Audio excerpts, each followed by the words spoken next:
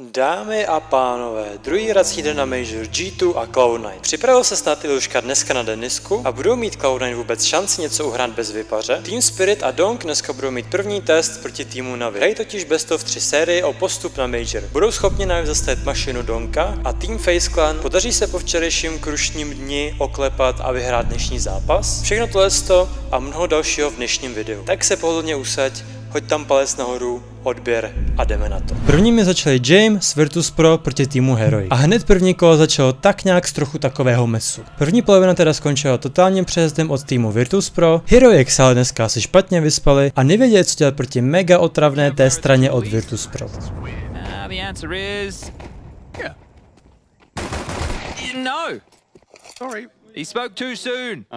Na konci tedy ale v tomhle svém zápase toho tolik nestalo, až na to, že Kixenovi totálně rupnuli nervy a musel se jí vymlátit do smouku.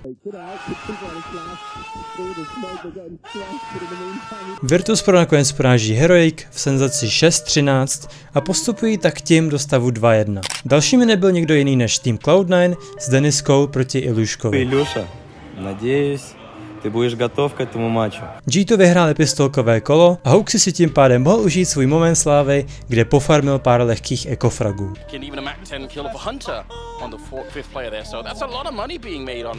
Brzo se raduješ, ale chlapečku. Tady máš molotov, ty špinavče. Co pak je toho stát? málo, tak tady máš ještě granát, chtuj. Tak jak jste už pochopili, tak Cloud9 se dokázali trošku zachytit za pár kol a Denisek nám předvedl, že i on se rozně na tento zápas připravoval.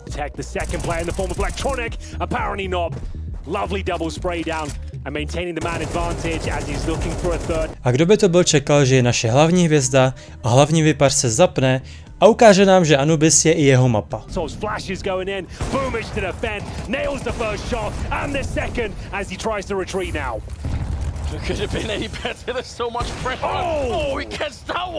Nakonec se ta polovina ukončila ve stavu 6-6 a Gito tuto mapu nechtějí tak jednoduše nechávat Cloud9. Bam, Hunter se třema hápkama, bam, přichytil ještě jednoho a myslíš si, že to je všechno? Ne. Bam, nic takového. No a nestabilní Excel se bohužel teda nakonec ocituje v 1 2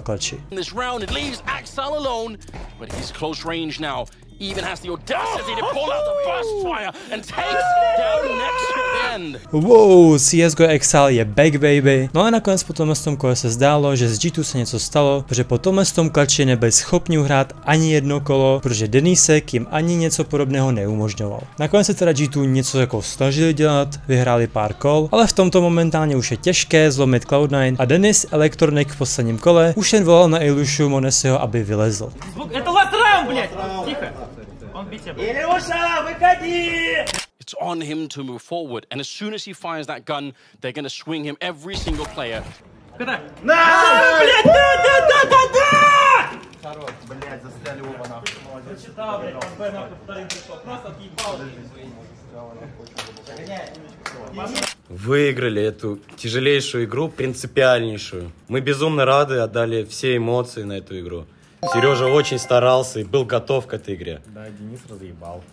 Podgotoviliśmy my, Ilюша, лучше, чем ty оказалось. Dalšími byli Face Clan v zápase 1-1 proti Eternal Fire. A jako chlapci, tady vám nemám jako co říct. Čekal jsem, že Faceclan se nebude dařit v této elimination fázi, ale že to bude až tak strašný, jako to asi nikdo nečekal. Prohrávají proti Turkům v totálně krušícím skóre 13-1 wrecked phase. There's nothing left to do here. The Turkish incinerator that is Eternal Fire, crushing phase. Skvělá práce od Eternal Fire a tímto jsou krok od koreňského playoffu v Majoru. A tímto jsou krok od koreňského playoffu na Majoru. A na druhou stranu Face dělí poslední zápas od totální katastrofální eliminace. Jejich plány na dnešní večer asi budou jasný, připravit se co nejlépe na příštího oponenta. Face ale nebyli jediní, kteří dostali totální přejezd, Mouseclan se totiž utkali v zápase o postup do playoff proti týmu Complexity, kde Complexity, jak už jste pochopili, neměli absolutně žádnou šanci. 13-1 a 13-12. Tohle to bylo šílený.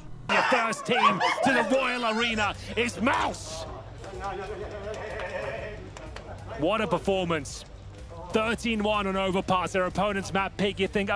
No a pokud nefraguje Elíš, tak komplexity bohužel většinou prohrávají. S takovým tempem jsou Mouse hlavními favority na tomto majoru, ale řeknu vám, že tady ještě vůbec není absolutně nic jasného. No a nás čekaly hlavní dva zápasy toho z toho večera. Pain Gaming a Mongols. Tyto dva týmy se mezi sebou utkali o to, kdo bude mít ještě poslední možnost si zahrát na tom mestom Wageru a pokusit se vyškrábat ze stavu 0-2. A na druhou stranu o to, kdo si zabili své saky paky a odejde z toho svého Majoru v totálně zdrčující porážce 0-3.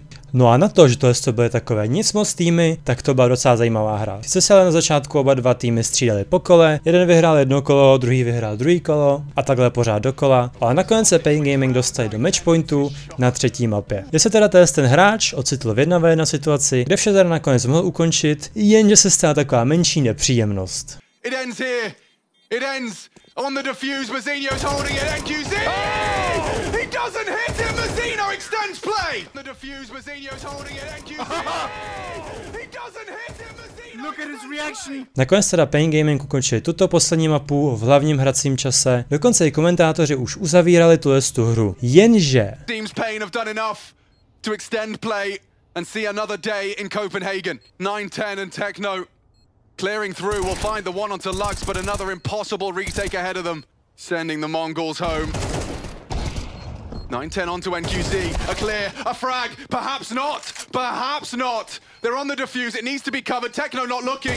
Techno not looking. Defusing. Oh! An overtime oh! secured. Can you believe it? Twice, right under their nose. Diffuser saved the Mongols and we go to overtime. V prodloužení se teda oba dva týmy přetahovali okola, Mongols měli možnost několikrát vyhrát, jenže nakonec Spain Gaming byli ti, kteří dokázali tuto hru dotáhnout do konce a ještě minimálně jeden den se podívají na Major v Copenhagenu.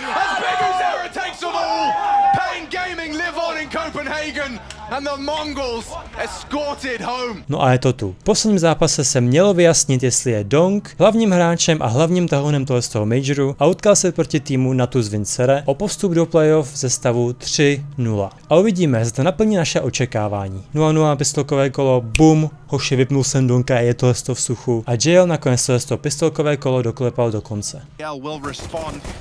And this player up on top of the hut makes quick work of Spirit. JL even going to chase down the final kill and he'll lock it in. Ale i s vyhranými pistolkami se Navi nepodařilo získat nějak velký náskok, protože Spirit nejsou zas takhle jaký tým a nakonec se dostáváme do stavu 7-3 a Dong zůstává v klači 1v3. Podaří se mu takovýhle klač vyhrát? Hasn't had to do much in the game so far, but this 1v3 could be the start of Donk going demon mode. Gonna pressure him. Sometimes that's the way you gotta do it. Doors swung open, missed shot for Donk. Util ringing out from the control room, and Donk's time in the round draws to a close. It's just JL left to beat, but he doesn't have to give him this fight. To. Čas teda nebyl na Donkové straně bohužel, a, ale i tak jako s přehledem vypočítal trajektorie výbuchu, svoji trajektorii a nechal si s přehledem jedno HP nakonec. Protože prostě jako proč ne, že jo. Ale ani takové toho vyhrané kolo moc nám nepomohlo a po prohrané polovině i po prohraných pistolkách už se za horizontem objevovala jednoduchá výhra pro Donka. No ale jenže v tom nejdůležitějším kole se JL prostě rozhodl, že dneska nebude prohrávat a otočil tuto situaci 3v4. A man down. They need someone to step up and fill the boots. JL has been that man throughout the game. And so he'll reclaim that three on three. Continues his aggression into the lobby and JL just Shiro and he's not ready for that re-swing out of Wonderful. So JL puts Navi on his... Takové otočení pomohlo Navi nabrat pár kol a tím jsme se dostali do toho z toho kola. A jen se podívejte na statistiku. Donk nezažívá úplně tu nejlepší hru a naopak JL je jeden z důvodů, proč Navi ještě neprohráli ten, ten zápas. No a nakonec osud obou týmů měli rozhodnout kapitáni. Molly out, Util oh, pulled. Alexi, it's the clash of the leaders now. Brains on brains and Braun might not even play a part of it as Alexi catches Chopper back turned. Alexi by nakonec pro svůj tým vyhrál důležité kolo, ale to asi nebylo nic ve srovnání s tím, jak JL v situaci 2v4 ze stavu 11-11 se prostě rozhodl se zahrát na Nia z Matrixu. Main, they're hitting A. Bombs up through the vent. Right now they're pressuring the one player they know about in the lobby, but JL's got to keep his wits no. about him. He should never double up there. A kolem 50 HPček na straně Navy i přesto dokázali tuto nesmyslnou 4v2 dotáhnout do konce.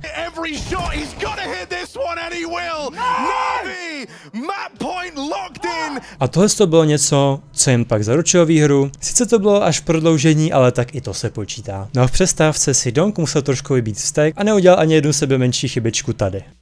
So, There you go, dog. Look, you got it straight away. no fire. Uh huh. N- me, team spirit.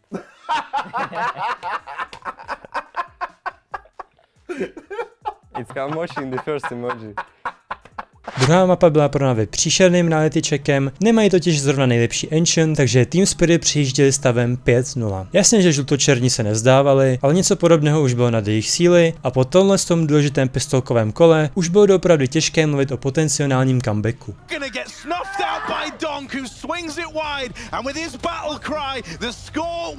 Toto teda bude ještě zajímavé. Jdeme na třetí mapu. No ale před startem mapy se Alexi by asi koukal na moje video, jak se hážou rychlé smouky do okna na Miráži, protože kde asi takové smouky jinde našel, že ano? Opět W plus jump through. Toto poslední utkání bylo docela napínavý a Jay dostal další možnost a to vyhrát to je to důležité kolo pro svůj tým. Liver in this clutch. Zontix is free. He knows where Shiro is. Time is of the essence for JL, and time might elude him as Shiro knocks him out of the round. Just shy of another clutch. And he is frustrated on the tail end of that one. Jailova frustrace nakonec nebyla jen tak, protože se proti Donkovi nepodařilo vyhrát ani jedno jediné kolo. A Donk se tímto dostává do Royal Areny a kdo ví, který tým ho dokáže zastavit v playoff.